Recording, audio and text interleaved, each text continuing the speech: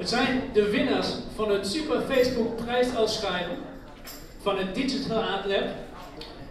De winnaars zijn Lucas en Bram. Ze zijn allemaal, allebei 13 jaar oud, zeg ik dat goed? 13? Ja, prachtig.